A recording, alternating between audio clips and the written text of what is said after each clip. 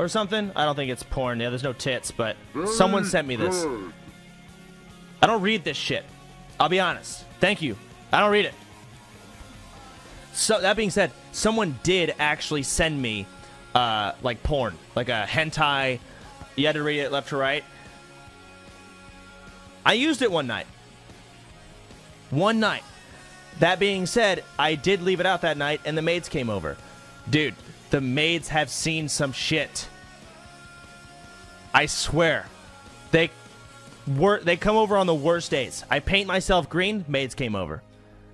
I'm fucking rowing a boat in my bed, maids came over. I jack off to hentai manga just to give it a try and see what it's like. It wasn't that bad. It wasn't eh. I didn't do it again, but maids came over. Um, I get my body pillow, maids come over. It's every single time. So a lot of people are like, man, these poor maids. They have seen it all.